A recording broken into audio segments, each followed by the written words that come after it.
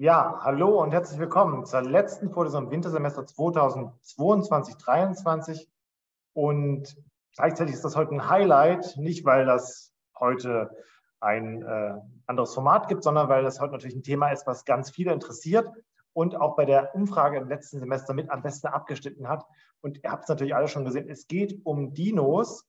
Und ähm, ich glaube, deshalb werden wir heute sehr viele tolle Fragen bekommen. Aber erstmal müssen wir über was anderes reden, was sehr wichtig ist natürlich auch für euch, denn ihr wollt wissen, wie bekommt ihr am Ende des Semesters eure Studierendenausweise und äh, eure, eure Zertifikate. Und die bekommt ihr natürlich nur, wenn ihr eure Studierendenausweise per E-Mail einschickt. Wer das noch bis zum 14.12. schafft dieses Jahr, der bekommt sein Zertifikat sogar noch dieses Jahr. Alle, die es nicht so schnell brauchen, die schicken es einfach danach ein, die bekommen das dann im neuen Jahr zugesandt. Also alle Symbole oder mindestens drei Symbole auf dem Studierendenausweis ausfüllen, das Ganze per E-Mail mit einem Foto an uns schicken und dann bekommt ihr eure Zertifikate von uns zugesandt. Das vierte Symbol gibt es natürlich erst heute nach dem Vortrag, also immer schön dranbleiben. Und ähm, jetzt kommen wir auch schon zu unserem heutigen Gast, unserem heutigen Thema und das ist Dr. Oliver Wings aus Bamberg und er leitet seit August diesen Jahres das Naturkundemuseum in Bamberg und ist Paläontologe. Und ihr wisst, was das heißt. Es geht um Dinosaurier und äh, Herr Wings stammt ursprünglich aus Erfurt und das fand ich total super, als ich das gelesen habe. Der wollte schon als Kind Paläontologe werden. Jetzt ist das vielleicht noch nicht so besonders, weil alle wollen irgendwie als Kinder vielleicht was mit Dinos machen. Aber er hat schon als Kind im Naturkundemuseum gearbeitet. Das muss er uns, glaube ich, gleich nochmal erklären, wie das geht, dass man als Kind im Naturkundemuseum arbeitet. Später hat er dann auch an ganz vielen Unis gearbeitet, an ganz vielen verschiedenen Museen. Auch im Naturkundemuseum in Berlin zum Beispiel, wer dort schon mal war, weiß, auch da gibt es ganz viele Dinos zu sehen. Ja, und sein Doktorarbeitsthema, das fand ich ganz besonders toll, das waren Magensteine bei Dinosauriern. Ja, er verzieht da keine Miene, aber ich finde irgendwie Magensteine bei Dinosauriern, das finde ich irgendwie schon ist ein tolles Thema, weil ich mir darunter natürlich gar nichts vorstellen kann, wie man das heute noch erforschen kann. Ja, Jetzt sehen wir ihn hier nicht in der Wüste stehen bei Ausgrabungen, da hätte er nämlich keine Internetverbindung, sondern er sitzt in seinem Büro in Bamberg und wartet auf uns. Und ich will gar niemanden auf die lange Folter spannen. Äh, Herr Wings, äh, es geht gleich los und ähm, ja, aber das müssen Sie schon noch aufklären, wie das funktioniert, dass man als Kind im Naturkundemuseum äh, arbeitet. Das müssen Sie uns jetzt auf jeden Fall noch erklären. Den Applaus ja. müssen Sie jetzt denken, wir sind begeistert und Ihnen gehört die Bühne jetzt. Das, das werde ich tun. Also vielen Dank für die Einführung. Ähm, ja, also Paläontologie ist schon das, was mich immer interessiert hat. Ich habe vor allen Dingen viele Fossilien schon gesammelt als Kind. Wahrscheinlich hat jeder irgendwie zu Hause so eine kleine Sammlung, aber ich habe eigentlich jeden Urlaub, einen Ostseeurlaub bei uns immer dazu zugebracht, den, den Sand äh, zu durchkämmen am Strand und, und die Stücke rauszusammeln. Und ähm, das war so der Anfang. Und Damals ähm, gab es die Möglichkeit, da gab es eine Arbeitsgemeinschaft junger Geologen, wo man mitmachen konnte, die vom Naturkundemuseum in Erfurt organisiert war. Und äh, da haben wir uns alle zwei Wochen immer getroffen, haben dann so verschiedene Fossilien mal besprochen oder Minerale. Im, im Sommer sind wir auch in die Steinbrüche rausgefahren und haben selber Sachen gesucht.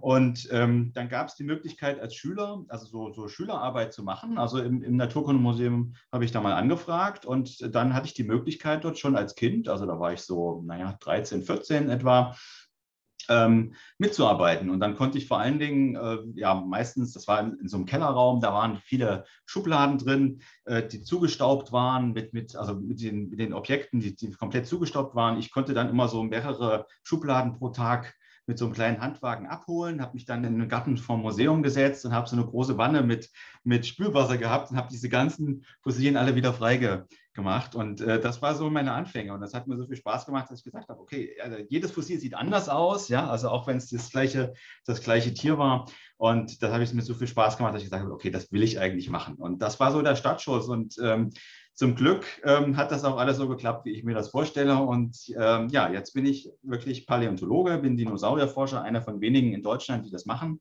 Ähm, ja, komme auch ins Gelände raus. Also ich war jetzt vor zwei Wochen mal kurz in, in Südafrika und habe dann ähm, da eine neue Fundstelle mit entdeckt, die, die ganz fantastisch ist. Also da bin ich auch ganz froh, dass das geklappt hat und ähm, kann neben der Forschung jetzt auch hier ein bisschen was im Bamberger Museum der Öffentlichkeit zeigen. Ja, und heute freue ich mich sehr, dass ich die Möglichkeit habe, hier die Kinderuni mitzumachen und auch was über Dinosaurier zu erzählen. Ich gebe jetzt einfach mal meinen Bildschirm frei. Ich hoffe, das klappt. Da ich schalte mich mal weg, Herr Wings, damit Sie das für sich haben und dann. Bildschirm zwei, wenn ich das freigeben machen, so, ich habe jetzt nämlich hier auch zwei Bildschirme, da gucke ich immer so zur Seite, aber das muss ja trotzdem funktionieren. Na? Ähm, okay, funktioniert, ja. Also alle sehen die, die Stadtseite. Wunderbar. Okay, gut. Also ähm, das Thema gigantisch und steinalt. Was sind eigentlich Dinosaurier und wo und wie findet man sie überhaupt? Da möchte ich natürlich insbesondere auf unsere Region hier in Deutschland ein bisschen eingehen. Die erste Frage ist, was sind eigentlich Dinosaurier? Ne? Ich gucke mal gerade, dass das hier weitergeht mit den Jetzt, was sind eigentlich Dinosaurier? Das ist eine Frage, die ich eigentlich allen Zuhörenden mal stellen möchte. Und zwar zeige ich euch jetzt Bilder und ihr könnt dann mit Ja oder Nein antworten. Ich hoffe, das funktioniert, so wie wir uns das vorstellen. Das ist das erste Bild. Ist das ein Dinosaurier? Dino oder nicht? Ihr könnt das jetzt ähm, alle wählen. Ihr habt jetzt ungefähr eine halbe Minute Zeit, also schnell entscheiden. Und dann können wir, können wir das ja mal einblenden. Wie viele von euch glauben, dass das ein Dinosaurier ist oder dass das kein Dinosaurier ist? Da kommen noch ein paar andere Bilder danach. Und einige sind gar nicht so leicht. Aha, okay, gut. Also 80 Prozent sagen nein, 20 Prozent sagen ja. Okay, also die, die 80 Prozent haben recht, das ist kein Dinosaurier, sondern das ist ein Mammut.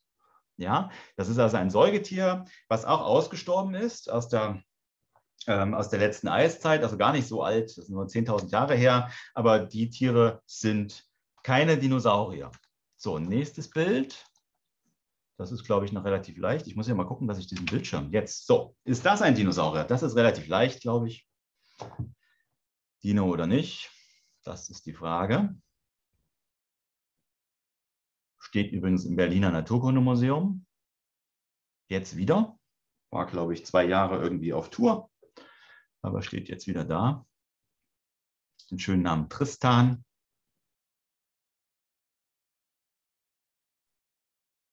Ja, ist es ein Dinosaurier? Ja, 99 Prozent. Ja, yeah, wunderbar. Das stimmt. Also das ist ein Dinosaurier, den kennt ihr sicherlich alle. Man kennt ihn an den zwei Fingern.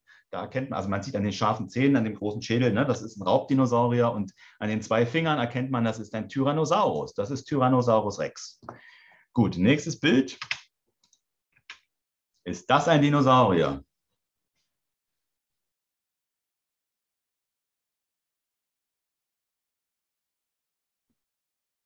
Das ist schon ein bisschen älter, das Bild.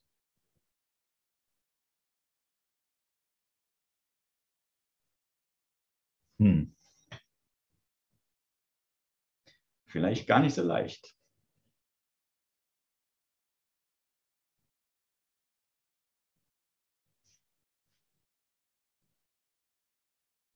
Nein, genau. Ich sehe, ihr kennt euch wirklich gut aus. 84 Prozent sagen nein, das stimmt. Das ist Godzilla, ja. Den kennt ihr sicherlich auch. Das ist natürlich so ein von Menschen ausgedachtes Monster. Das ist kein Dinosaurier. Aber der hat natürlich Züge von, von so einer Echse, ne? von so einem Dinosaurier. So, jetzt wird es schon schwieriger. Ist das ein Dinosaurier oder ist das kein Dinosaurier? Kennt ihr sicherlich auch. Unten steht auch, wie es heißt, das Tier. Dimetrodon heißt das Tier.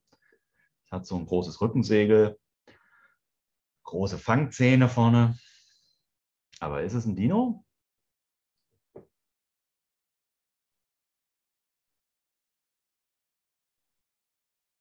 bin ich jetzt echt mal gespannt.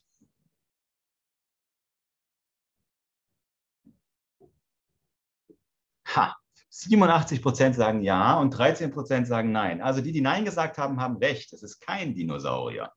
Das ist nämlich ein säugetierähnliches Reptil. Ähm, das waren so die Vorläufer von den Säugetieren, die es vorher gab. Das hat äh, vor den Dinosauriern überhaupt gelebt, im Erdaltertum. Am Ende des Erdaltertums hat der Dimetrodon gelebt. Also kein Dinosaurier, obwohl er meistens auch als solcher häufig äh, verkauft wird, auch als Spielzeug. Ne? Aber das ist keiner. Sind das Dinosaurier? Was glaubt ihr?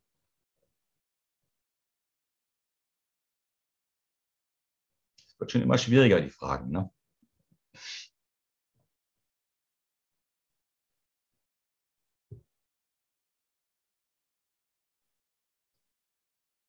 ja, kennt ihr das sicher, das ist die Gruppe der Flugsaurier, so heißen die.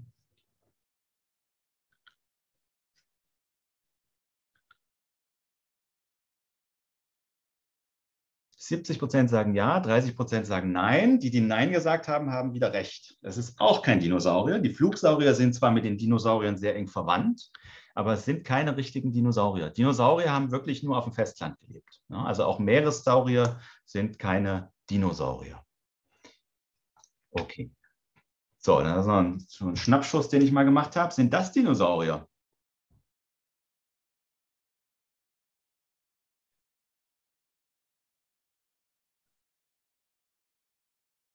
Hm. Die gibt es ja heute noch.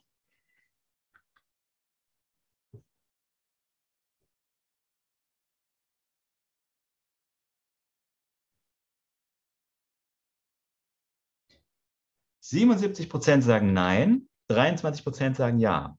Die, die Ja gesagt haben, haben recht. Das sind Dinosaurier. Alle Vögel, die es heute gibt, sind entstanden aus kleinen Raubdinosauriern und zählen dazu, also entwicklungsgeschichtlich betrachtet, äh, von der Evolution her gesehen, sind das wirklich Dinosaurier. Ja, also sind die Nachkommen der Dinosaurier, sind natürlich jetzt schon vom Skelett so weit verändert, dass man die nicht direkt immer dazu zählen würde, aber die sind aus Dinosauriern entstanden und da das die Ursprungsgruppe ist, sind alle Vögel heute, die noch leben, Dinosaurier. Also Dinosaurier gibt es heute auch noch, sind ungefähr 10.000 Arten, ne, diese Vögel.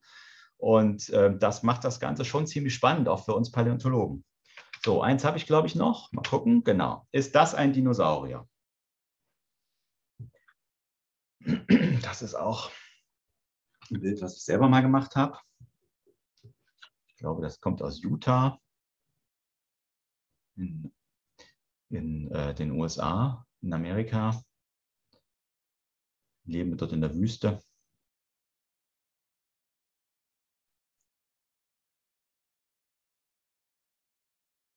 Ich bin gespannt. Ha, jetzt, das ist genau die Hälfte. Ne? Die Hälfte sagt ja, die Hälfte sagt nein. Also die, die Nein gesagt haben, haben recht. Ähm, das ist kein Dinosaurier, aber es ist ein Saurier. Ja, also da muss man halt auch einen Unterschied machen zwischen Saurier, was eigentlich bloß Echse heißt, und Dinosaurier, was eigentlich heißt schreckliche Echse. Okay, vielen Dank fürs Mitmachen. Jetzt geht eigentlich mein Vortrag los. Jetzt mache ich hier mal weiter und erzähle euch was. Schauen wir mal. So, also was macht einen Saurier zum Dinosaurier? Echsen ne? und Dinosaurier sind die schrecklichen Echsen. Es gibt ganz viele verschiedene Merkmale, da will ich jetzt gar nicht weiter darauf eingehen. Also am Schädel gibt es Merkmale, ähm, es gibt am postkranialen Skelett, also am ganzen Skelett hinter dem Schädel, gibt es Merkmale. Ähm, vielleicht zwei Sachen, die ihr euch aber merken könnt. Also viele Sachen von denen sind ganz kompliziert. Da muss man erstmal gucken, welche Knochen das überhaupt sind. Aber es gibt zwei Sachen, die könnt ihr euch merken, wie man Dinosaurier relativ gut erkennen kann im Vergleich zu anderen Echsen. Und zwar sind das zum einen Schädel, die viele Öffnungen haben. Ja, also man sieht hier auf der linken Seite äh, zwei verschiedene Schädel. Zu dem hier unten kommen wir nachher nochmal. Der ist auch bei mir hinter, hinter auch aufgestellt. Ähm, man sieht, dass sie sehr viele Öffnungen haben, die sind also sehr leicht gebaut. Und ähm, das Zweite ist, dass die Beine aufrecht unter dem Körper stehen. Ja, also das sieht, man sieht das hier. Ähm, heutige Echsen, auch Krokodile und so weiter, die haben so seitlich abgespreizt ihre Beine und die Dinos hatten die ähnlich wie wir auch, die Beine direkt unterm Körper. Und das kann natürlich, dadurch ist das Gewicht sehr gut verteilt. Deshalb konnten die Dinos auch so groß werden, weil die diese Füße dann ähm, direkt wie Säulen unter dem Körper standen, ne, die Füße und die Beine. Und äh, die haben das schwere Gewicht von den richtig großen Langhalsdinosauriern, den Sauropoden, dann auch tragen können. Na, also diese zwei Merkmale könnt ihr euch äh, merken. Dinosaurier erkennt man daran, dass die Beine aufrecht unter dem Körper stehen und dass sie viele Öffnungen im Schädel haben. So, wann haben Dinos gelebt? Jetzt wird es eigentlich spannend. Ähm, das kennt ihr vielleicht so oder so ähnlich, dieses Bild. Das ähm, ist so eine Übersicht der Erdgeschichte und was da so an, an Tieren und Pflanzen gelebt hat. Ähm, das hat sich natürlich immer weiterentwickelt. Die Dinos waren hier im Mesozoikum, ähm, also Trias, Jura, Kreidezeit. Ne? Das sind so die, die Zeiträume, wo die Dinos gelebt haben, die großen Dinosaurier. Und dann kam der Einschlag von dem Asteroiden am Ende des, der Kreidezeit, am Ende des Mesozoikums. Ähm, dann sind die großen Dinosaurier ausgestorben und die einzigen, die es geschafft haben, sind die Vögel aus der Gruppe. Und die Säugetiere hatten dann aber freie Bahn, weil die Dinos sie nicht mehr bejagt haben. Die konnten sich dann ganz schnell entfalten. Ähm, die Vögel übrigens auch. Ähm, und die haben dann ähm, viele der, der äh, Lebensräume dann neu besetzen können. So, jetzt aber, um diese, diese Zeit mal ein bisschen besser einzugrenzen, klemmen. Also Mesozoikum, Erdmittelalter, ja, Trias, Jura, Kreide, das ist da, wo die Dinos gelebt haben. Aber wie viel Zeit steckt da überhaupt drin? Kann man sich das überhaupt vorstellen? Also das geht ja, sind ja mal so Zeiträume, ne? das geht so vor 250 Millionen Jahren los und die, die Kreidezeit war zu Ende vor ungefähr 66 Millionen Jahren. Das klingt immer so ganz weit weg. Kann man sich das vorstellen? Wie, wie alt ist eigentlich unsere Erde? Und ich habe mir mal so, so einen Vergleich ausgedacht. Für die unter euch, die jetzt schon ein bisschen über zwölf Jahre alt sind, ähm, dann kann man das sehr gut vergleichen. Also die Erde selber ist ungefähr 4,56 Milliarden Jahre alt. Das ist eine riesige Zahl, kann man sich echt nicht vorstellen. Ne? Aber wenn man ungefähr 12,5 Jahre alt ist, dann hat man etwa 4560 Tage gelebt. Und das würde heißen, dass pro Tag, den man dann alt geworden ist, ähm, eine Million Jahre vergangen ist. Und das nehmen wir jetzt mal so als, als Maßstab. Und dann müssen wir mal gucken, wie wir das jetzt, Moment, ich gucke mal, ob ich das hier hinbekomme. Ähm, dann gucken wir das jetzt mal als Maßstab an. Ähm, wenn man zum Beispiel, also wann ist das Leben entstanden, ist die erste Frage. Ja, da könnte man natürlich wieder eine Umfrage machen, aber ich sage es euch, also guck mal, hier unten, hier unten vielleicht nochmal zu diesem Balken, den man hier sieht. Also da ist die Erde entstanden, hier drüben. Ich hoffe, ihr seht auch den, den Pfeil oder den, den Mauszeiger bei mir. Ähm, hier sehen wir jetzt gerade, da ist das Leben ungefähr entstanden. Und das, was wir vorhin gesehen haben bei dieser, bei dieser Übersicht von, des Lebens, das ist eigentlich bloß dieser bunte Teil hier. Also wir sind eigentlich noch ganz weit weg von dem, wo das Leben sich richtig entfaltet hat und ganz viele verschiedene Tiere und Pflanzen da waren. Sondern wir sind ja noch am Anfang. Ne? Und das also relativ früh, nachdem die Erde hier entstanden ist, so als heißer Glutball, ähm, gab es dann schon Leben. Ne? Und das sieht man hier in solchen, solchen äh, Linien im Gestein. Das sind meistens irgendwelche Algenlagen gewesen, so Algenschleime. Äh, die haben dann Sediment eingefangen, also so kleine Partikel äh, von Sand und haben die mit eingebaut. Und an diesem lagigen Aufbau erkennt man, dass das wirklich Lebewesen damals schon waren. Und genau, da werdet ihr, wenn ihr heute zwölfeinhalb gewesen seid, zwei und ein Vierteljahr ungefähr alt, da ist das Leben entstanden. So. Dinosaurier sind entstanden, da machen wir einen riesen Sprung. Ja? Also hier, guck mal, diese ganze Zeit ist dann schon vergangen. Da sind wir jetzt hier wieder im Mittelalter. Da werdet ihr fast zwölf Jahre alt. Vor 230 Millionen Jahren war das. Ja, also werdet ihr fast zwölf Jahre alt in unserem Vergleich. Und dann sind die Dinos ausgestorben. Vor 66 Millionen Jahren, das habe ich schon gesagt. Das war vor zwei Monaten, also gar nicht so lange her. Man sieht das hier, also das ist der Zeitraum hier gewesen, wo die Dinos gelebt haben in der Erdgeschichte. Und dann ist noch die Frage, wann waren die Menschen eigentlich da? Vor 300.000 Jahren etwa. Und das war heute Morgen, so um 10 rum. Ja, also so kurz ist der Mensch auf der, auf der Welt hier gewesen. Die Dinos haben ungefähr zwei Monate von eurem Leben dann äh, überlebt und äh, die Menschen gerade mal sieben Stunden. Mal gucken, wie lange wir noch durchhalten. Wir geben uns ja Mühe, dass das noch eine Weile dauert. Okay, nur mal so als Vergleich, wie man diese Zeit ungefähr einschätzen kann. Jetzt noch ein anderes Bild, wo ich gar nicht näher darauf eingehen will, sondern einfach mal zeigen will. Äh, das ist der Stammbaum der Tetrapoden. Tetrapoden heißt Vierfüßer, das heißt alle Tiere, die, also Wirbeltiere, die vier Füße haben. Also wir haben auch vier Füße, auch die Hände zählen da jetzt dazu bei uns. Die sind natürlich jetzt speziell angepasst, aber die, die meisten ursprünglichen Tiere hatten halt auch dann äh, vier Gliedmaßen, ne, mit denen sie sich fortbewegt haben. Und ähm, nur mal ganz kurz, also hier unten, das sind die Amphibien, die gibt es heute noch, das sind die Frösche, das sind die äh, Molche und ähm, andere Gruppen. Ähm, alles, was hier, also das ist die Zeit, ja, die, die fortschreitet, das ist Trias Jura Kreide hier wieder, das ist das, das Mesozoikum, das Erdmittelalter. Und man sieht schon, hier gab es dann, es gibt mehrere größere Einschnitte. Ne? Also hier gibt es einen großen Einschnitt, da schaffen es viele Gruppen gar nicht rüber. Die sterben alle aus. Das ist so, wie, wie weit die verbreitet waren. Je breiter das ist, desto mehr waren davon da. Zum Beispiel bei den Fröschen sieht man, die Frösche haben sich jetzt hier rausgebildet, so, in, auch zusammen mit den Dinos in der Triaszeit. Und dann sind die hier oben sind viel, viel mehr geworden. Ja, also die, die breiten sich immer weiter aus. Ähm, viele Gruppen von denen sind ausgestorben. Das sind die Säugetiere, die es heute noch gibt. Da gibt es das Schnabeltier, dann gibt es hier die, die äh, Beuteltiere und es gibt uns sozusagen als Plazentalier, also als ähm, ja, die, die normale Gruppe der, der Säugetiere. Bei Vögeln sieht man auch, hier sieht man das ganz gut. Ne? Das sind die Dinosaurier, dieser Teil hier. Die sind also relativ klein hier, dann hier viel, viel mehr geworden. Hier oben sind sie schon wieder geschrumpft gegen Ende und dann kam der, der Meteoriteneinschlag und der hat dann viele Gruppen versucht oder viele Gruppen zum, zum Aussterben ähm, gebracht. Und die einzigen, die es geschafft haben, sind die Vögel. Und ihr seht, die Vögel kommen hier aus den Dinosauriern raus und entwickeln sich dann ganz vielfältig weiter. Ne? Und ähm, das ist also so ein Überblick über die, die ganzen Tetrapoden, nur mal damit ihr wisst, also Dinosaurier sind gar nicht alles, sondern wir als Paläontologen müssen uns natürlich auch, also als Wirbeltierpaläontologen jetzt müssen uns zum Beispiel diese, diese Tetrapoden näher angucken, aber wir gucken uns auch noch die Fische an und da gibt es noch so viele andere wirbellose Tiere, ne? also äh, Schnecken, Muscheln, Seesterne, ganz, ganz viele andere Gruppen, Krebse und so weiter. Ähm, die, mit denen beschäftigen wir uns auch als Paläontologen. Ja, wo finden wir eigentlich Dinosaurier? Das ist jetzt eine ziemlich interessante Frage. Dafür gucken wir uns mal diese Karte an. Das ist die geologische Karte von Deutschland. Ähm, die sieht ein bisschen anders aus als das, was ihr kennt. Die Umrisse erkennt ihr sicherlich hier. Ne? Hier oben Norddeutschland, hier unten Süddeutschland. Und ähm, die ist aber total farbig. Und diese Farben bedeuten eigentlich immer andere Ablagerungszeiten von den Gesteinen, die dort an der Erdoberfläche zu finden sind.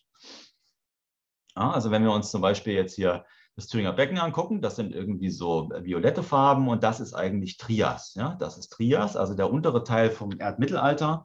Und hier in der oberen Trias im Kolper, da haben sich die Dinos entwickelt. Das heißt, da wo diese Schichten vorkommen, da können auch Dinosaurier vorkommen. Ja? Hier unten haben wir äh, das Blaue noch vielleicht als Beispiel. Das ist die Schwäbische Alb, die Fränkische Alb. Das ist jetzt äh, der Jura. Und der Jura ähm, ist ein ähm, ist auch äh, in Deutschland sehr weit verbreitet, aber da sind viele Schichten eigentlich zu, mit Meeresablagerungen bedeckt. Und ähm, da wird es natürlich auch schwer, Dinos zu finden, weil die Dinos haben ja alle am Festland gelebt. Ne? Das heißt, man braucht also Landablagerungen, man braucht Landablagerungen, die genauso alt sind wie die Dinosaurier. Das heißt, die müssen aus der Triaszeit, aus der Jurazeit oder aus der Kreidezeit stammen. Vielleicht ein paar Beispiele dazu. Ähm, das ist jetzt wirklich ein Dinosaurier aus Deutschland. Das ist eigentlich so der typisch deutsche Dinosaurier. Da gibt es, glaube ich, über 100 Skelette mittlerweile, die man da gefunden hat. Und äh, der heißt Plateosaurus, ja, die plattige Echse sozusagen. Ähm, hier sind so ein paar Rekonstruktionen aus dem Museum in Stuttgart gezeigt. Und hier ist eine alte Skelettrekonstruktion. Früher hat man gedacht, die waren auch zweibeinig, haben auf ihrem Schwanz so gesessen. Heute weiß man, dass die wirklich eher auf allen Vieren unterwegs waren, manchmal sich aufrichten konnten, aber dass der Schwanz auch frei getragen war. Also nicht so wie bei den Echsen heute am Boden schleift, sondern Dinosaurier haben den Schwanz auch immer in der Luft. Auch das ist ein gutes Erkennungsmerkmal, wenn man irgendwo ein Skelett sieht im Museum. Und ihr seht, der Plateosaurus kommt hier vom Harz zum Beispiel, der kommt ähm, hier aus, aus dem Thüringer Wald und äh, der kommt auch von der Schwäbischen Alb hier unten. Da gibt es Fundstellen, wo ganz viele Skelette, also Dutzende Skelette teilweise gefunden wurden. Und dann gibt es halt noch viele andere. Ich habe hier nur da noch was, da noch was ne, drin, wo noch einige Funde dazukommen. Also wenn man die alle Fundorte zusammenzählt, sind das allein bei Plateosaurus wahrscheinlich zwei Dutzend oder so in Deutschland. Also die findet man schon relativ häufig. Noch ein Beispiel aus der Jura- und der Kreidezeit. Ähm, Iguanodon kennt ihr vielleicht. Das ist der Dino mit dem ähm, ja, Don auf dem Daumen. Ein Pflanzenfresser aus der Kreidezeit, aus der unteren Kreidezeit. Auch da haben wir tolle Funde hier.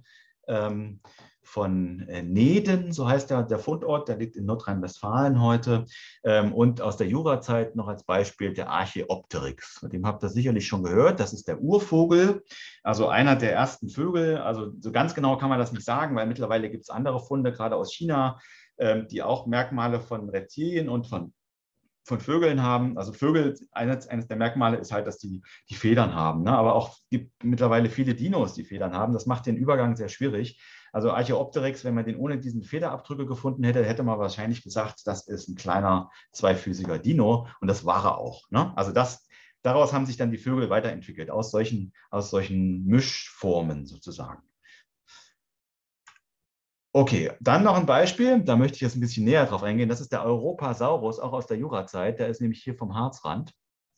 Und dieser Europasaurus ähm, ist für mich ein bisschen speziell, weil ich mit dem auch viel gearbeitet habe. Und da möchte ich euch mal so ein bisschen zeigen, wie so ein Projekt überhaupt läuft. Ähm, der Europasaurus, der kommt aus diesem Steinbruch hier. Das ist der sogenannte Langenberg-Steinbruch. Der liegt bei, bei Goslar am nördlichen Harzrand. Und ähm, der ist noch in Betrieb. Man sieht hier unten so einen großen Radlader. Diese Räder von dem Radlader, die sind ungefähr zwei Meter groß. Da könnt ihr euch vorstellen, wie groß dieser ganze Steinbruch ist, nämlich riesig. Na, und dann gibt es eine Schicht, ähm, hier in dieser Schichtenfolge, ihr seht, die sind alle ganz steil. Das ist eine Schichtfläche hier, auf die wir drauf gucken, eigentlich auf die Unterseite. Also das hier drüben ist die Oberseite, das ist die Unterseite. Und ähm, die sind natürlich so steil nicht abgelagert worden, die Schichten, sondern die haben sich dann nochmal ähm, bewegt in diese jetzige Lage, als der Harz als Mittelgebirge sich rausgehoben hat. Der ist nach oben gegangen und er hat sozusagen diese ganzen Schichten mitgenommen und so hochgeschleppt. Deshalb stehen die jetzt so, so steil da. Und ähm, ja, in einer dieser Schichten, da findet man auch Dinosaurier. Ähm, verrückt ist das Ganze, weil das eigentlich alles Meeresablagerungen sind. Und so sah zur damaligen Zeit ganz Europa aus. Also das hier ist ungefähr Deutschland, die Umrisse von Deutschland. Ja. Und äh, wenn ihr genau hinguckt, hier ist der Langenberg und hier drunter seht ihr so einen kleinen grünen Bereich, das ist eine Insel. Und auf dieser Insel haben Dinos gelebt, die es da in diese Meeresablagerung reingespült hat, als sie gestorben sind. Und die haben wir auch da gefunden. Ja, aber ganz, ganz äh, Europa sah halt komplett anders aus. Ne? Also man sieht viele, viele Inseln. Es gab damals viele weiße Sandstrände, war immer schön warm, tropisches Klima. Ähm, Wäre ein tolles Urlaubsparadies gewesen, wenn nicht die großen Raubdinosaurier da gewesen wären. Da hätte man natürlich sehr aufpassen müssen. Ja, wie läuft sowas ab im Steinbruch? Ich gucke mal, ob das hier noch geht. Genau, hier gibt es sogar noch so einen kleinen Zeitrafferfilm, der hier schon mit drin ist. Nee, geht nicht. Okay, ist egal. Haben wir abgeschaltet. Ähm, wir wissen, diese eine Schicht, also hier in dieser einen Schicht, wenn ihr den Cursor seht, äh, in dieser einen Schicht äh, sind diese Knochen gefunden worden. Hier haben wir eine große Grabung gemacht, also äh, mit einer Sprengung und mit einem Bagger, der das rausgehoben hat, um diese Schicht freizulegen. Und dann haben wir mit einem großen Team hier gesucht nach solchen Knochenfunden. Ähm, teilweise waren wir mit so einem großen Kran unterwegs, um hier oben in der Wand noch Sachen rauszunehmen. Also gerade kleine, mikro, kleine Fossilien, Zähne, zeige ich gleich. Und die Stücke, die dann gefunden wurden, die wurden hier mit so einem Mini-Presslufthammer präpariert. Ähm, und äh, ja, wenn die, wenn die äh, Blöcke richtig gut waren, dann haben die so viel Knochen geliefert wie hier. Also alles zerfallene Skelette, keine ganzen Skelette mehr. Aber von denen, ähm, die, die Knochen selber waren super erhalten und es waren auch fast alle da. Also wenn man genau hinguckt, dann sieht man hier diese dunklen Stellen, das sind Zähne. Das ist also ein Kiefer gewesen hier. Ja? Und das wünscht man sich natürlich, weil dann an so einem Schädel gibt es ganz viele Merkmale als Paläontologe, wo man dann auch bestimmen kann, was das für ein Dino ist.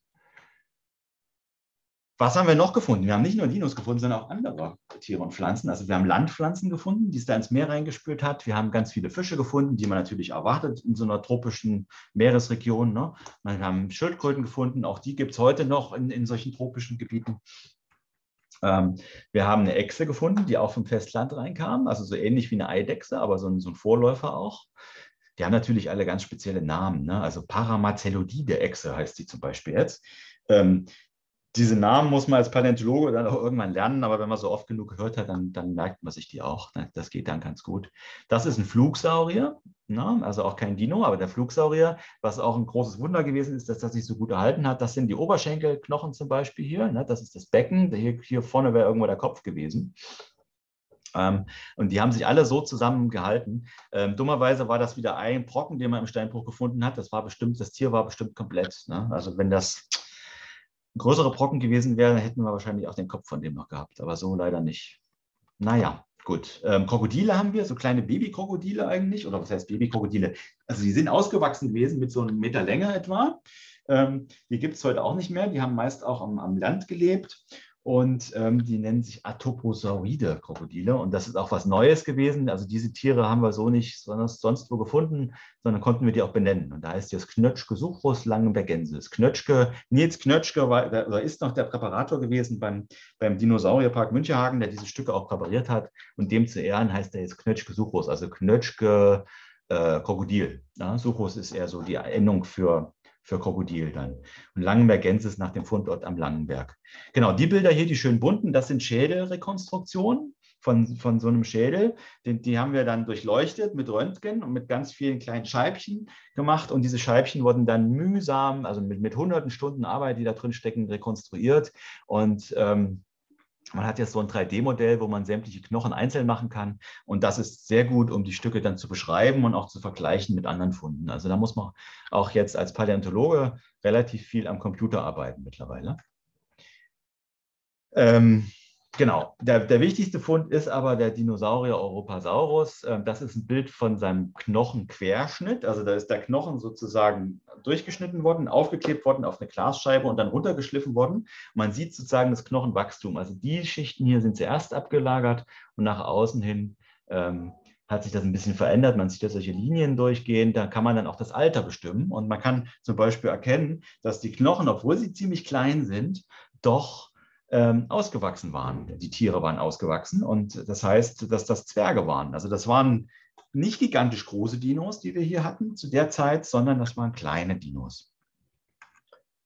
Ähm, und zwar so klein, ich weiß nicht, wer von euch schon im Museum war in, in Berlin, aber wenn, dann könnt ihr euch sicherlich an diesen großen Dinosaal erinnern, wo hier dieser große, dieses richtig große Skelett steht. Das ist das größte weltweit, original montierte Dinoskelett mit über 13 Meter Höhe.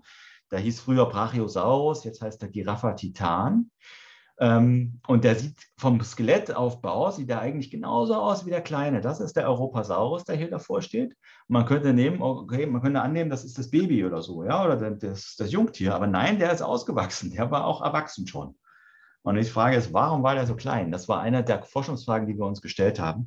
Und da hat sich dann herausgestellt, dass der auf dieser Insel gelebt hat, die Insel relativ klein war und der wahrscheinlich nicht mehr genug Futter gefunden hat, um so groß zu bleiben. Und dann ähm, passen sich die Tiere relativ schnell an. Also die kleinsten Tiere können sich dann am besten fortpflanzen und über mehrere Generationen schrumpft der ganz schnell zusammen auf so eine Größe, sodass der wirklich so ein handlicher kleiner Dinosaurier geworden ist, der Europasaurus. Wir haben auch noch andere Dinos entdeckt dort am Langenbergsteinbruch. Das sind jetzt Zähne von verschiedenen Raubdinosauriern, nur um die euch mal zu zeigen. Also es sind basale Tyrannosaurier dabei, also so Vor Vorgänger, also die Ur-Ur-Großeltern von dem von dem Tyrannosaurus Rex. Ähm, die haben auch hier in Deutschland gelebt. Ähm, andere Turvosaurus, Allosaurus, den kennt man vielleicht auch noch als Raubdinosaurier zur oberen Jurazeit. Ähm, die haben wir auch gefunden ne? und, und noch ein paar andere mehr. Wir haben Dinosaurier-Fußabdrücke gefunden. Ja, das ist auch so ein 3D-Modell. Also das ist ein Foto hier und hier drüben sieht man so ein 3D-Modell. Je höher das ist, desto so dunkler sind die Farben. Und ähm, die stammen von sehr großen äh, Raubdinosauriern. Also die Fußabdrücke sind schon so 70 Zentimeter groß. Und da waren die Tiere sicherlich auch so, naja, fünf, sechs Meter werden die schon gehabt haben in der Körperlänge. Und die hätten den kleinen Europasaurus auf der Insel dann sicherlich auch aufgefressen. Also zu dem Zeitpunkt ist der Meeresspiegel wahrscheinlich zurückgegangen. Ähm, die, die Raubdinosaurier konnten von einer anderen Insel wieder einwandern und die haben den Europasaurus dann einfach aufgefressen. Das war wahrscheinlich wirklich so. Und wir haben auch Säugetiere gefunden. Das, was man hier drüben sieht, eigentlich schon aus wie so ein richtiger Backenzahn. Ne? Das ist auch ein Backenzahn von so einem frühen Säugetier. Das war auch neu, das haben wir auch Teutonodon genannt. Also der Zahn der, der Teutonen sozusagen, der Deutschen. Und das, das stammt alles aus dem Einsteinbruch. Wenn es euch interessiert, ähm, also hier, natürlich habe ich das nicht alleine gemacht, ne? ihr seht schon ganz viele Namen hier. Diese Namen sind alles äh, Menschen, die mitgemacht haben bei mir, die auch ähm, ja, die Forschungskooperation nennt man das, also die, wo man gemeinsam dran forscht. Jeder hat so eine Spezialität. Viele haben auch mit präpariert, andere haben im Gelände mitgeholfen, die Funde zu bergen und so weiter. Und ähm, wir haben dazu auch so ein Buch rausgebracht, hier Europasaurus heißt das, Urzeitinseln voller Leben. Ich zeige euch jetzt nochmal hier zum Abschluss, das funktioniert hoffentlich, sonst machen wir es extra. Nee, das funktioniert. Ich zeige euch mal ein Video, weil wir haben von diesem Buch auch die, erste Hälfte Ihr hört vielleicht sogar auch was. Wenn ich, ich lasse es mal aus, glaube ich, sonst dann hört er lieber mich. Äh, so, ähm, dann, ähm, genau, wenn es euch interessiert, ihr könnt diese Videos zum Europasaurus und zu den Tieren, die damals mitgelebt haben auf dieser Insel zur Jurazeit, die Videos könnt ihr bei YouTube alle angucken. Wenn ihr da nach Europasaurus sucht, dann kriegt ihr raus, ähm, ne, wo, die, wo die alle verlinkt sind. Da gibt es eine deutsche und eine englische Version. Ich glaube, das ist jetzt sogar noch die englische, die hier läuft, aber es gibt auch eine, eine deutsche. Und ähm, wir stellen so ein bisschen die Tiere vor. Das sind alles so Bilder aus unserem Buch, die wir da haben. Wer also noch ein Weihnachtsgeschenk sucht, dann könnt ihr das Buch euch kaufen. Das gibt es überall im Buchhandel. Ähm, und wir haben da lange dran gearbeitet. Ähm, um das so ein bisschen aufzubereiten, weil ich immer auch wollte, dass man nicht unbedingt Paläontologe sein muss, um solche Sachen zu verstehen. Ne? Also hier sehen wir so ein großes Meereskrokodil, was erstmal durchs Meer schwimmt und was dann zu dieser Insel kommt und wo dann ähm, ja, noch ganz andere Tiere auftauchen. Ne? Das schwimmt jetzt erstmal so, eine, so ein Delta rein, dann schwimmt es irgendwie den, den Flusslauf hoch und man sieht schon, die Seiten sind bewachsen, da gibt es ganz viele Nadelbäume, die dort wachsen. Ähm, das ist der Europasaurus, der taucht da auch auf. Das ist aber bloß der erste Teil des Buches, da ist er nur ganz kurz zu sehen. Und jetzt kommt das Krokodil zu so einem See. Und der See ist sozusagen der Paarungsort von dem Krokodil. Und da können nur die kräftigsten Tiere sich paaren. Das heißt, da gibt es jetzt erstmal einen Kampf. Da muss sich das Krokodil nämlich gegen die anderen Machimosaurier durchsetzen.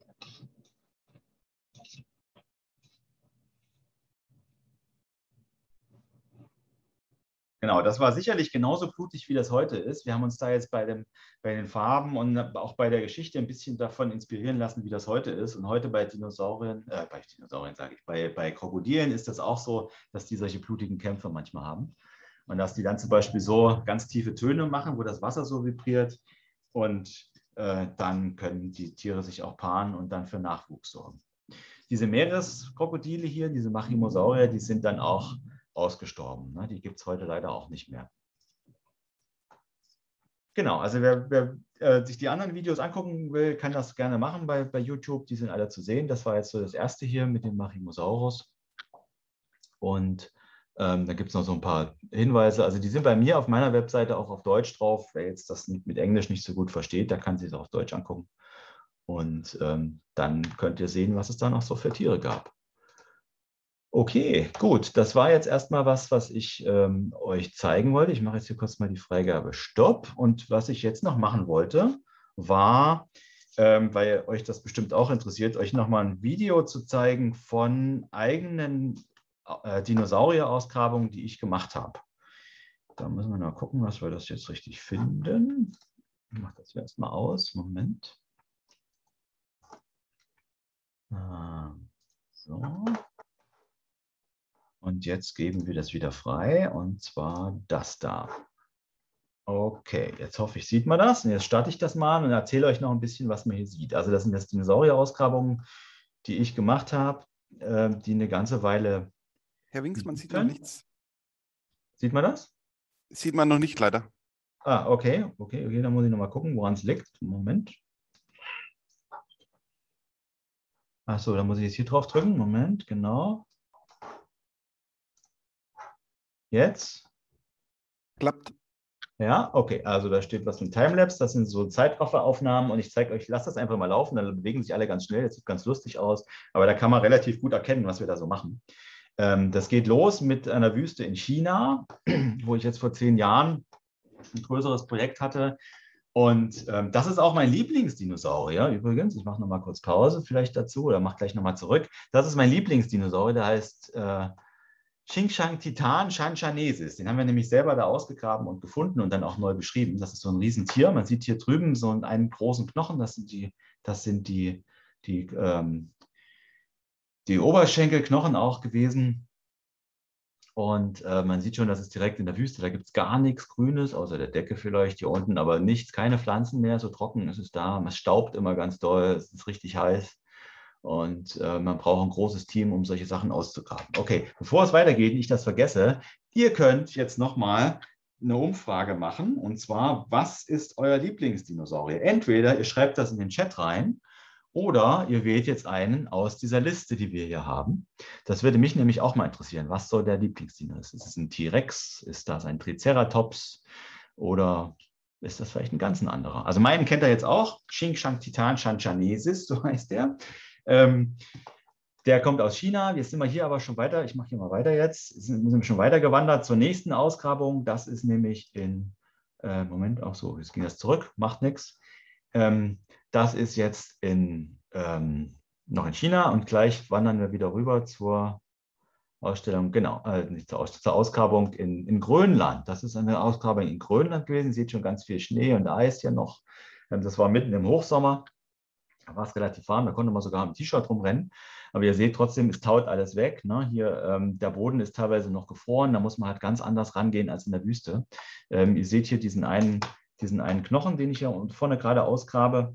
Ähm, die, die, die Knochen sind jetzt gar nicht, in dem Fall jetzt gar nicht von einem Dinos. Wir haben auch Dinos dort gefunden, aber die sind von einem großen landlebenden Krokodil, einem sogenannten Phytosaurier, der ähnlich ist wie, wie äh, die ja, Theropoden, ne? also die, die Raubdinosaurier von, vom Aussehen. Das ist jetzt der Langenbergsteinbruch, den habt ihr schon gesehen. In meinem Vortrag habe ich da ein bisschen was erzählt drüber. Ähm, hier graben, kommt gerade der Bagger und jetzt, jetzt gräbt der Bagger ganz, ganz viel aus und äh, ich sitze hier drüben und passe auf. Das ist kein, kein schöner Job. Das sieht zwar aus, als könnte ich mich da ausruhen, aber es ist nicht so. Manchmal nochmal mal zurück ein Stück. So. Moment, genau. Ähm, man muss nämlich ganz doll aufpassen, wenn der Bagger was raushebt, dass da keine Knochen drin sind, weil man will natürlich nichts kaputt machen, nichts zerstören. Ne?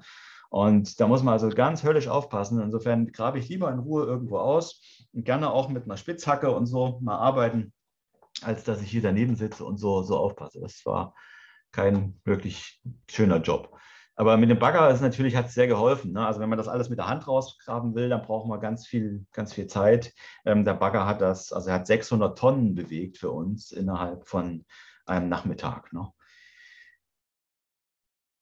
Genau. Ähm, und jetzt kommen gleich ganz viele Leute. Genau, das ist nämlich der Tag des Geotops. Im September gibt es einen Tag, wo man Steinbrüche besuchen kann. Und da haben wir hier auch unsere Fundstelle mal vorgestellt und den Leuten gezeigt, wo wir welche Knochen gefunden haben.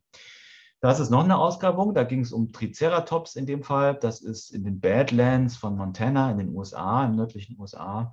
Und ähm, man sieht so diese ganzen weißen Sachen hier, die da rumsitzen, das sind alles irgendwie, ich mache nochmal kurz Pause, Moment, so. Das sind alles irgendwie Knochen, die werden jetzt hier einge, äh, wenn ihr hier mal hinguckt, äh, die werden jetzt hier erstmal mit so Zellstoff, nassem Zellstoff äh, geschützt, dann kommt da gleich eine Gipskappe drüber, dann wird das rausgenommen und in der Zeit arbeite ich hier drüben. Wenn er hier genau hinguckt, dann sieht er hier so eine sehr flache Struktur, ja, die hier irgendwie so wellig ist.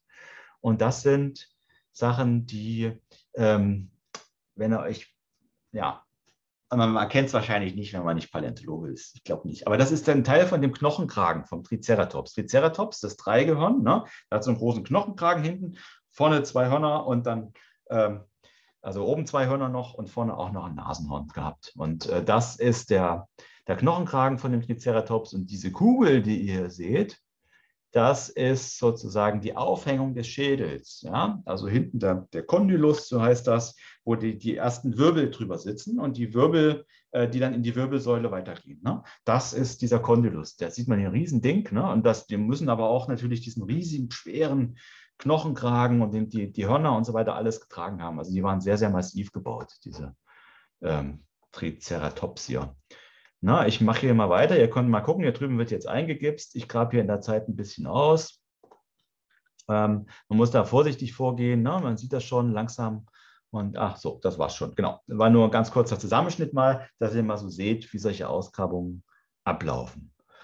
Gut, das war eigentlich alles, was ich euch zeigen wollte. Wenn ihr Fragen habt, dann, also zu Dinos generell, dann immer her damit jetzt. Ich bin noch eine Weile da. Solange ihr Lust habt, beantworte ich heute eure Fragen. Vielen Dank.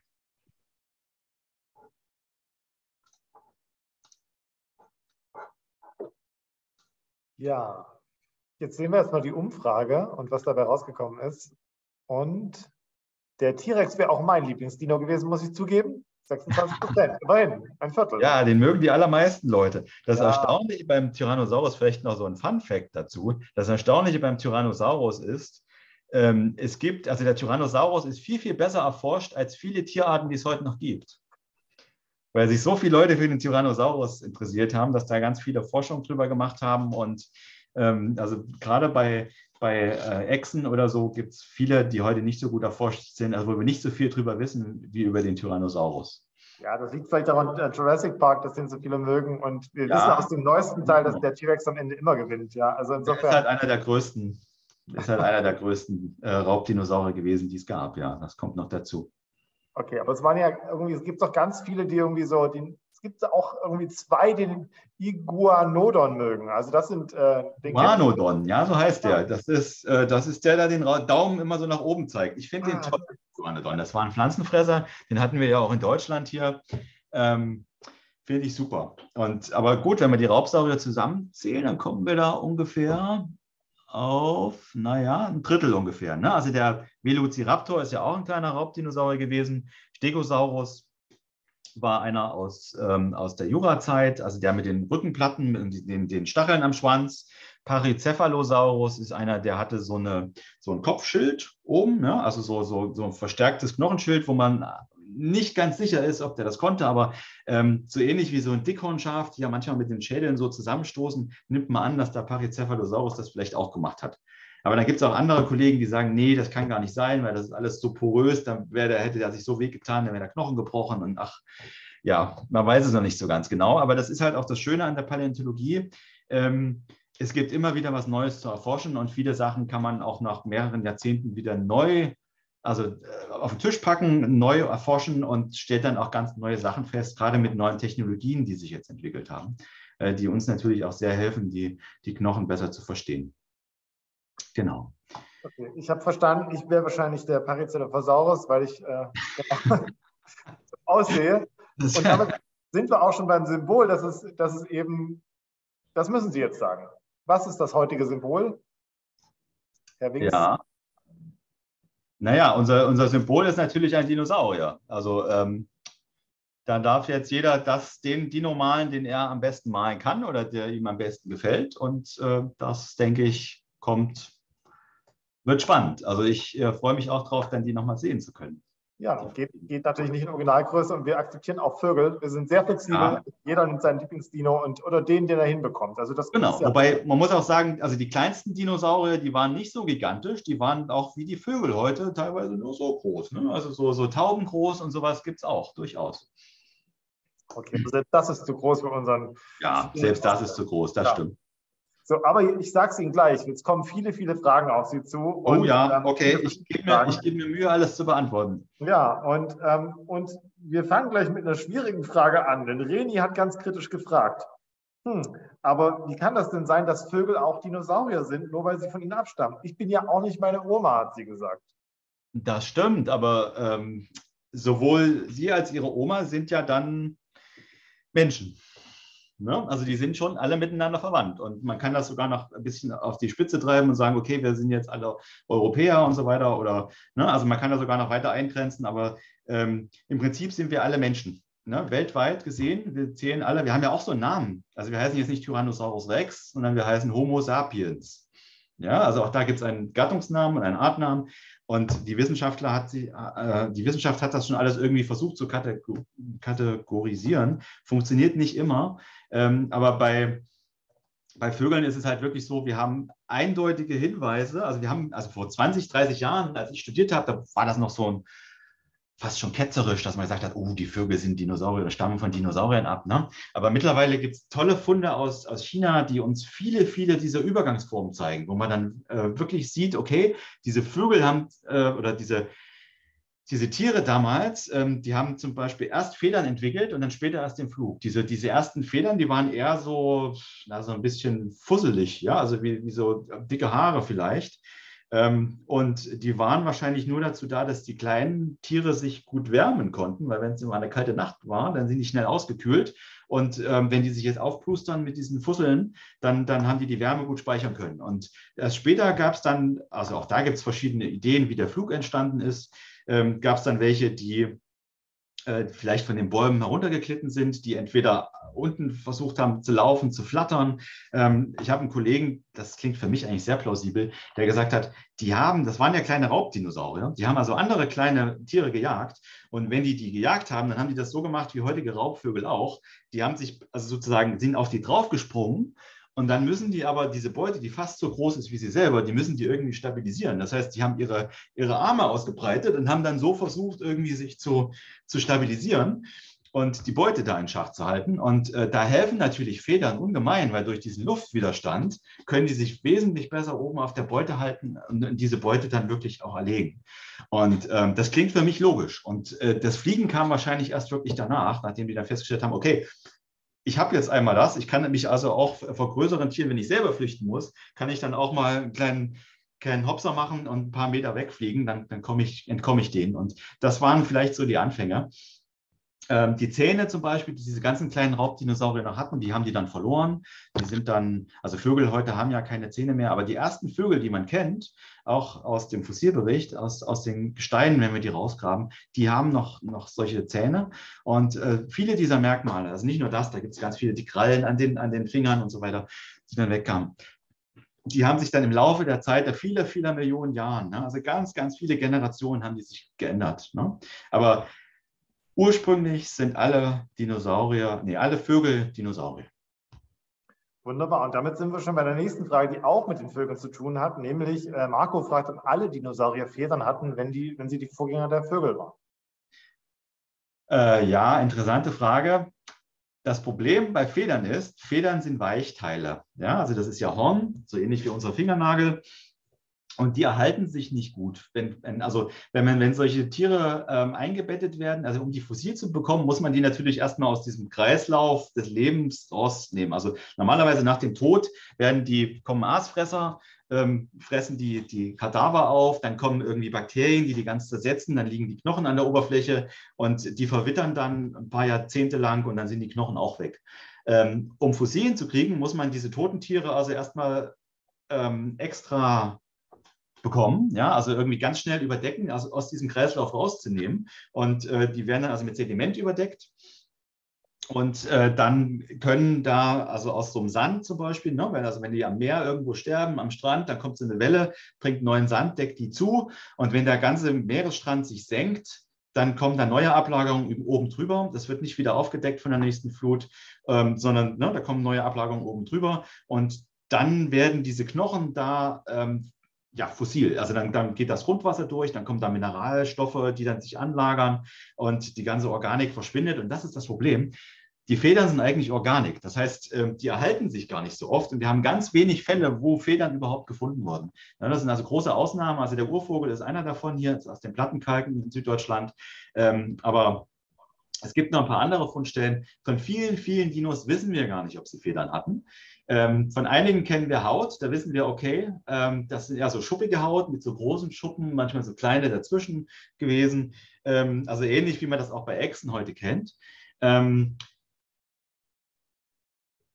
man nimmt an, das ist aber auch jetzt bloß so ein gewagte Vermutung. Wir wissen es ja nicht, ob die Federn hatten oder nicht. Man nimmt an, dass, dass viele Raubdinosaurier Federn hatten, die ganz großen aber auch nicht. Also auch ein Tyrannosaurus war sicherlich nicht überall gefiedert, weil der brauchte das gar nicht mehr. Da war so groß, ähm, dass, die, dass er dann schon wieder Probleme hatte. Der war ja so 12, 14 Meter lang, ja, das Tier, äh, dass der schon Probleme hatte, die Wärme wieder abzugeben. Ne? Je größer das Tier ist, desto schwieriger wird es, diese Wärme abzugeben. Das war auch wahrscheinlich ein großes Problem für die großen Dinosaurier. Äh, Elefanten als heutige Landtiere, die größten, die haben da einen, einen, guten Trick entwickelt. Die haben ja so große Ohren, mit denen können die wedeln und diese Ohren, die geben dann die Wärme ab. Ne? Also wie so ein Ventilator so ein bisschen.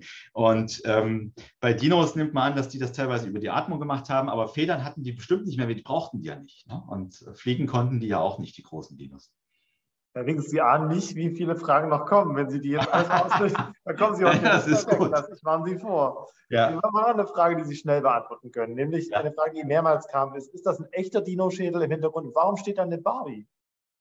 Ha, okay, das ist relativ einfach. Okay, das ist der Europasaurus, dem, mit dem ich was erzählt habe. Das ist nicht der echte Schädel, der ist in der Form auch nicht gefunden worden, sondern mit einzelnen Schädelknochen, die dann aber abgegossen worden sind, also wo man Formen gemacht hat und äh, aus den Original ähm, Knochen aus den Formen, dann, die, die man erstellt hat, hat man diesen Schädel wieder zusammengebastelt. Ne? Und die Barbie ist eine ganz spezielle Barbie. Die gibt es schon gar nicht mehr, die ist noch ziemlich alt. Das ist nämlich die Paläontologen-Barbie. Und die, die begleitet mich jetzt auch schon seit über 20 Jahren. Ne? Und die ist aus der Serie, das finde ich auch immer ganz toll, die Carrier Collection, wie Girls Can Do Anything. Wir Mädchen können alles, heißt das. Ne? Also Mädchen, aufgepasst.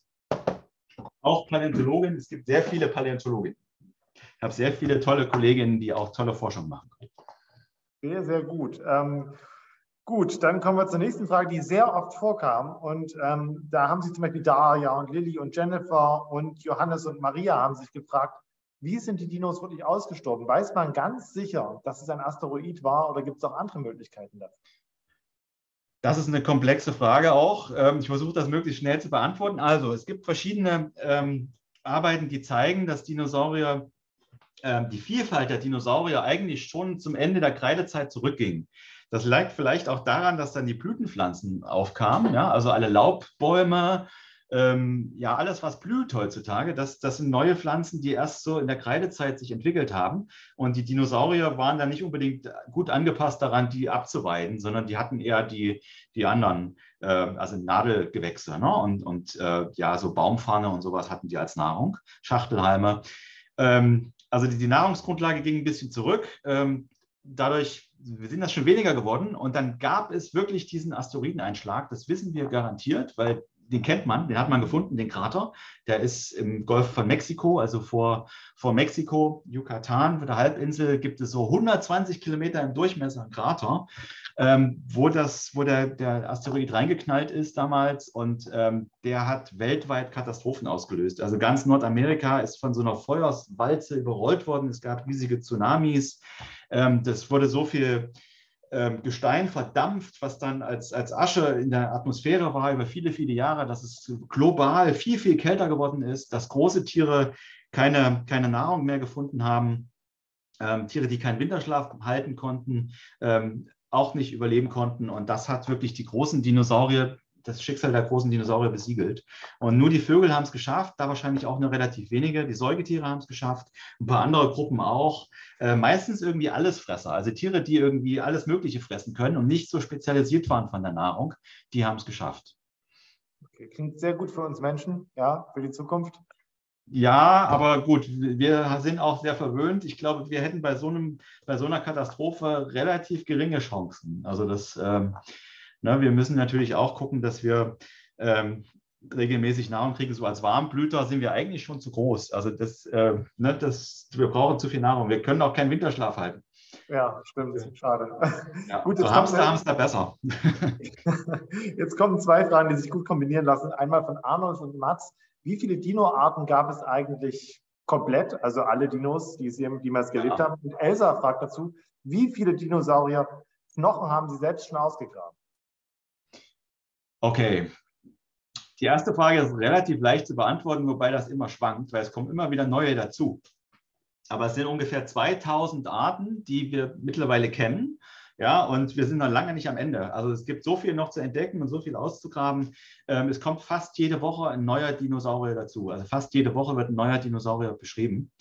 Ähm, die zweite Frage ist ein bisschen schwieriger, wenn man jetzt sagt, okay, die Arten, die ich selber beschrieben habe, also sagen wir mal nicht nur Dinos, sondern so andere Tiere, die sonst keiner entdeckt hatte vorher, das sind vielleicht zehn. Ja, also da sind die Säugetiere mit dabei, da ist das Krokodil mit dabei und da sind auch Dinosaurier mit dabei. Also der letzte Dino, den ich beschrieben habe, der kam aus Grönland und der heißt Isisanek. Das heißt äh, übersetzt, also das Grönländisch und heißt übersetzt kalter Knochen. Ganz schöner Name ist, weil da war der ja im ewigen Eis.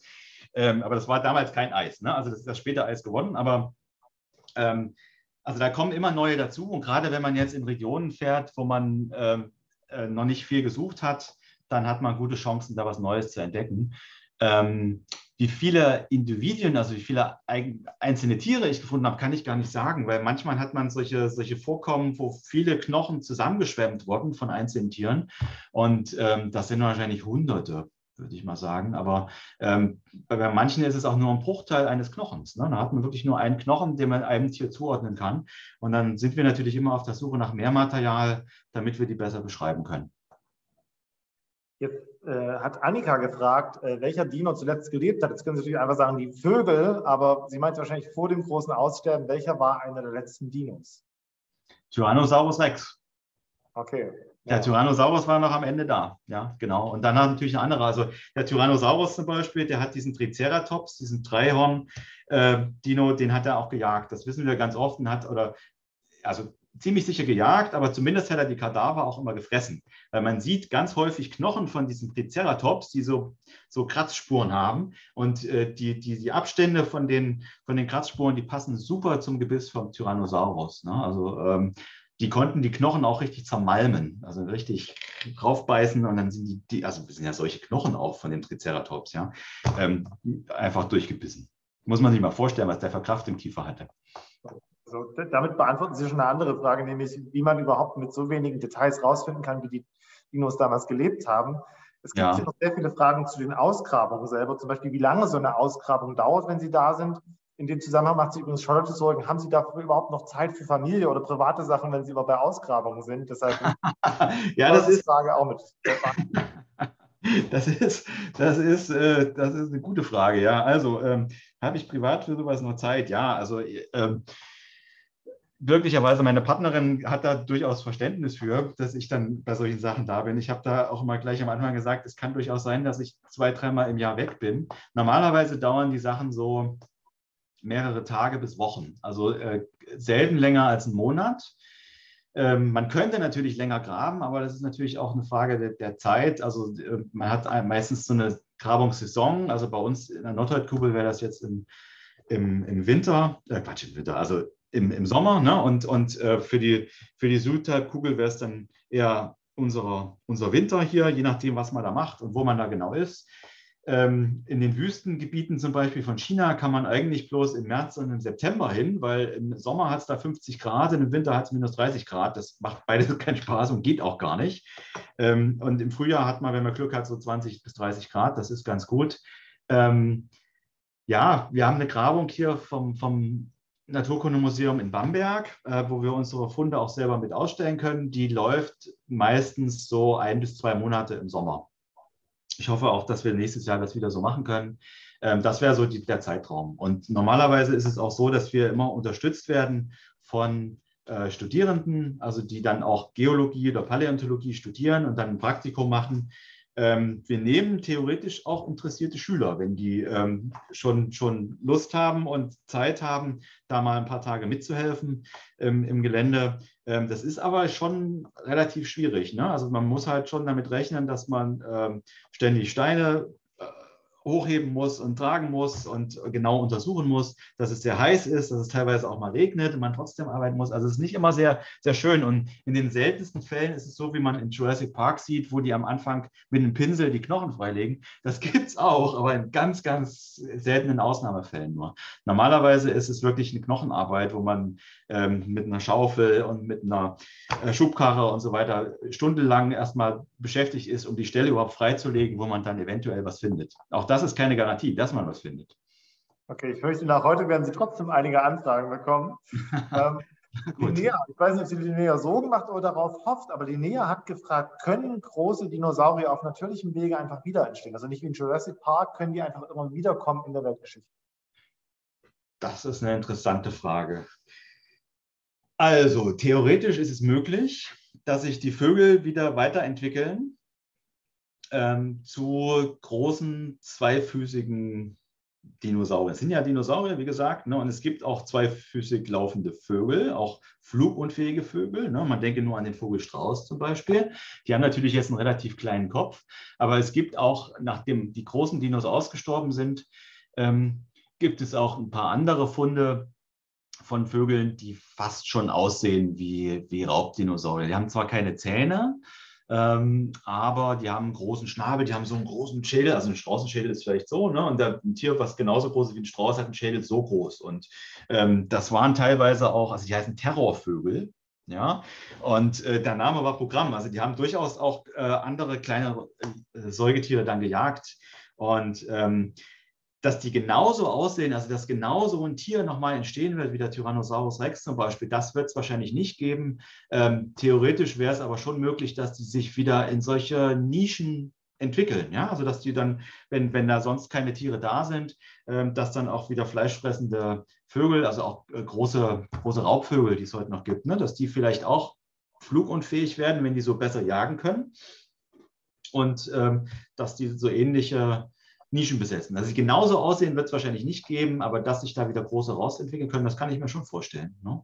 Und ähm, es gibt äh, auch witzigerweise ein Projekt in, in Amerika, wo man versucht, aus Hühnchen ähm, bestimmte Dino-Merkmale wieder rauszuzüchten. Also zum Beispiel, dass die Hühnchen dann wieder Zähne bekommen, so wie die Raubdinosaurier die hatten, weil diese gesamte Erbinformation von den äh, ganzen Generationen, die da vorher gelebt haben, die ist ja teilweise noch erhalten, nur irgendwie nicht aktiviert im, im Erbgut. Und man versucht dann äh, bestimmte Merkmale wieder rauszuzüchten, also dass die wieder Krallen kriegen am Flügel und dass die die Zähne haben und so weiter. Ähm, das ist ein langfristiges Projekt, wo ähm, naja, die Erfolge noch überschaubar sind. Aber wer weiß, vielleicht werden auch da nochmal Dinos zurückgezüchtet. Das kann schon sein. Oh Gott, also werden wir doch irgendwann Urlaub im Jurassic Park machen vielleicht. ja. ja. Oder auch nicht. Genau. Aber ich meine, andere Gruppen, wie zum Beispiel die ganz großen Langheitsdinosaurier mit dem Brachiosaurus zusammen, die werden sicherlich nicht ähm, wieder da sind, weil nie, nie wieder da sein, weil die sind ja ausgestorben ohne Nachkommen. Ne? Die einzige Gruppe, die es geschafft hat, sind wirklich diese, diese kleinen Raubdinosaurier. Okay. Gut, ich stelle gleich mal, weil wir in Langhalsdinos sind. Äh, Isabella hat gefragt, warum haben die Dinos überhaupt so einen langen Hals bekommen? Wozu war das gut? Ja, auch das ist eine, eine super tolle Frage, ähm, wo es schon ganze, ganze Gruppen von, von Forschenden gab, die darüber geforscht haben. Also große Projekte, Verbundprojekte, wo es darum ging, wieso konnten die eigentlich so groß werden? Warum gibt es heute nicht mehr so große Tiere? Ne? Äh, also so ein Elefant ist ja, also die größten Dinos waren vielleicht achtmal so groß wie ein Elefant. Ja? Also acht Elefanten zusammen sind ein so ein Dino und das ist ja irre, wenn man sich das vorstellt. Ähm, der lange Hals ähm, hat natürlich einen super Vorteil. Also zum einen äh, braucht man sich nicht groß bewegen, hat ein riesiges Areal, was man so absuchen kann, wie so ein Staubsauger und alles erstmal abfressen kann, was das so ist. Und äh, man kommt natürlich an, an, Nahrung ran, das waren ja Pflanzenfresser, man kommt an Nahrung ran, die, die andere Tiere gar nicht erreichen konnten. Also wirklich zehn Meter hohe Bäume, kein Problem. Ne? Und ähm, die haben sicherlich auch den ganzen Tag nur gefressen. Wenn man sich die Zähne von den Tieren anguckt, das sieht man ja bei dem auch, der gehört ja auch zu dieser Gruppe, obwohl er so klein war. Diese Zähne, die sind ja eigentlich wie so Stifte. Ja? Und die erinnern eigentlich eher an so ein Rechen als irgendwie an so Malzähne. Malzähne haben die gar nicht. Die haben überall, überall diese Stifte hier gehabt. Und ähm, die haben das auch wie so ein Rechen benutzt. Die haben also, da kam der, war der, der Zweig und die haben den Zweig wirklich so abgestreift und die ganzen Nadeln, die da dran waren, oder vielleicht Gingo-Blätter, sowas, oder Farnblätter, haben die einfach runtergeschluckt. Die haben die gar nicht zermahlen. Ne? Und dann haben die die im Magen gehabt das war übrigens ein Teil meiner Doktorarbeit mit den Magensteinen, weil heutige Vögel haben diese Magensteine, um, um ihre Nahrung zu zerkleinern. Und ähm, die Annahme war, dass die Dinos das auch gemacht haben, weil die haben ja so schlechte Zähne. Aber ich konnte zeigen, dass das nicht so war. Also die Dinos, es gibt nicht einen Dino, der so eine Magenmühle hatte wie so Vögel heute. Hühner, die picken diese Körnchen auf, weil die keine Zähne mehr haben und zermahlen damit ihre, ihre pflanzliche Nahrung im Magen. Bei den Dinos war es so, die waren da eher wie so wandelnde Komposthaufen. Die haben also wirklich ganz viel runtergeschluckt. Und dann unten im Magen ist das, ist das lange, lange verdaut worden. Also mindestens 72 Stunden. Da gab es noch ein anderes Forschungsprojekt von Tierernährern, die haben mal die Pflanzen, die es heute noch gibt, die die da, Dinos damals schon essen konnten, ähm, haben die mal untersucht, wie viel Energie ist da drin und wann wird diese Energie frei.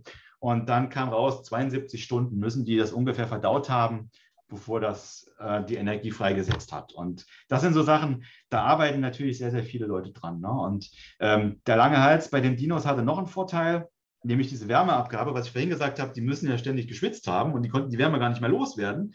Ähm, bei, in dem langen Hals wissen wir, also auch das ist so eine Leichtbauweise, wenn man sich diesen Kopf hier anguckt, der ist ja super fragil, ne? ganz viele Öffnungen, ganz, also die Knochen sind ja so ganz dünne Stäben hier noch und ähm, der muss natürlich so leicht sein, weil wenn man am Ende so ein langes Hals ist, wenn man da was Schweres hat, das ist ja wie so ein, wie so ein Hebel. Ne? Und, und äh, je leichter, desto besser lässt sich das hochheben. Und die hatten noch eine andere Möglichkeit, um das leicht zu machen. Und zwar waren die, die Knochen, die Halswirbelknochen, die waren genauso dünn.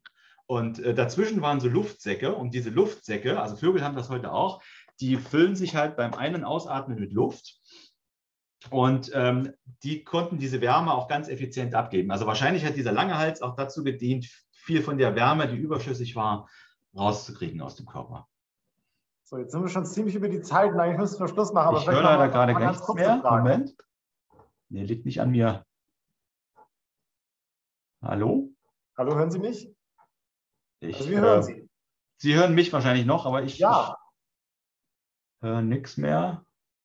So, dann sage ich für alle noch mal ganz kurz, bevor Herr Wings wieder da ist, weil die Frage noch ein paar Mal kam. Das Symbol okay. für heute ist der Dino Wir sehen uns hoffentlich alle im Sommersemester wieder im Hörsaal. Jetzt wieder. Ja, ja. gut. Wir haben kurz überbrückt. Ja. Und äh, wer es bis zum 14. schafft, nee, ist wieder weg. Hä? Was ist denn hier los? Bekommt sein Zertifikat auch dieses Jahr, alle anderen im neuen Jahr. Herr Wings, hören Sie mich wieder? Jetzt höre ich Sie wieder. Gut, ja. dann machen wir noch ein paar ganz schnelle Fragen. Äh, wo lebt der T-Rex? Wird gefragt von Tabea. In Nordamerika, in Montana zum Beispiel auch, mit dem Triceratops zusammen. Okay, dann können wir hier im Vorgarten nicht suchen. Jonas und Gregor mhm. fragen nämlich, woher weiß man, wo man suchen muss? Wo beginnt man einfach so zu graben?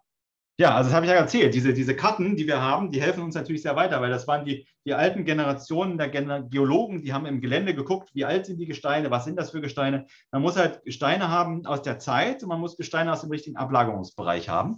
Und äh, theoretisch sind große Teile von Deutschland auch immer noch ähm, also da kann man immer noch Dinos suchen. Ne? Also das äh, alles, was aus der Jurazeit, aus der Kreidezeit und aus der oberen Triaszeit stammt, da kann man nach Dinos gucken. Und es müssen halt möglichst Landablagerungen sein. Es gibt auch Funde aus Meeresablagerungen, die sind aber sehr, äh, sehr selten und die sind ähm, also da muss man viel, viel Glück haben, weil dann ist einfach ein Tier vom Land ins Meer reingeschwemmt worden und dann irgendwo runtergesunken und dass man das findet, ist halt sehr unwahrscheinlich. Also am besten sind Fluss- oder Seeablagerungen ähm, aus der damaligen Zeit.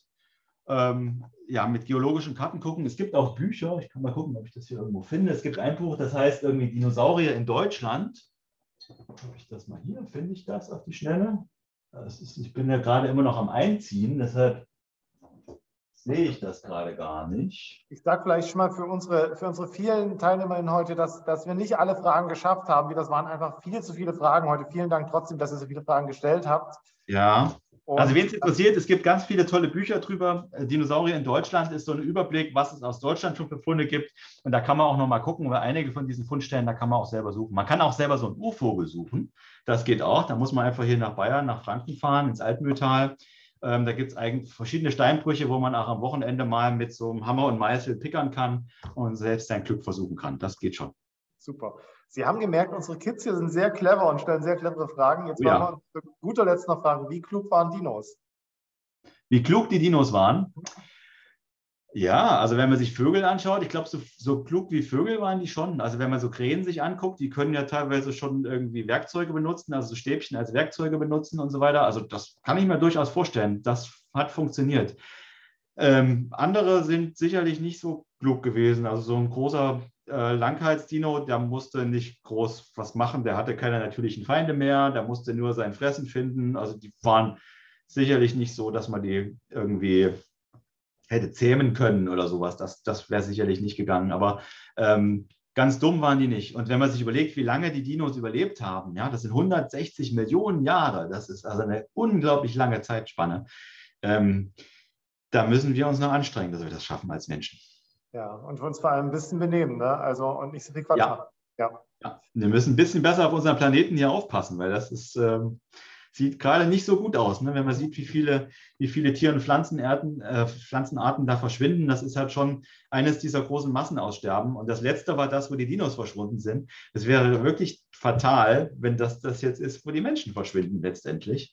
Na, also da müssen wir viel, viel mehr Anstrengungen unternehmen, dass wir die, die heutigen ähm, Ökosysteme einfach schützen, ne? die, die Tiere und Pflanzen.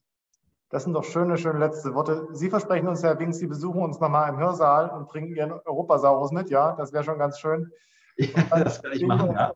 Alle wieder da und äh, hoffentlich im Sommersemester wieder in Präsenz. Bis dahin, allen eine schöne Weihnachtszeit. Ihnen, Herr Dr. Wings, vielen, vielen Dank für diese schöne letzte Vorlesung im Wintersemester und jetzt wirklich allen eine schöne Weihnachtszeit. Und Sehr gerne, das wünsche ich auch. Vielen Dank fürs Zuhören. Hat Spaß gemacht. Tschüss. Tschüss.